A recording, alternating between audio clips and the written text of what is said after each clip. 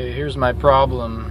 When I rev, the revs come up, and then I let go of the throttle, and RPMs start to come down, but then they go back up. They'll stay up about 500 to 1000 RPM above idle RPM, and then gradually come back down to a proper idle. Watch.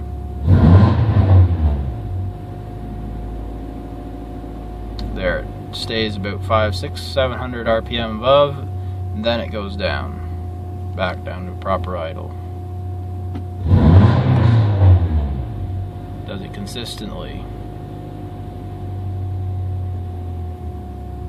That time it wasn't so bad. It's still warming up, it's not up to operating temperature yet.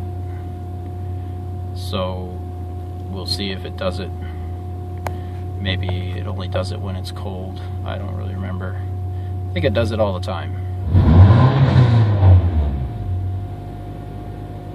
There, it sticks, 1600 RPM, and then it goes back down.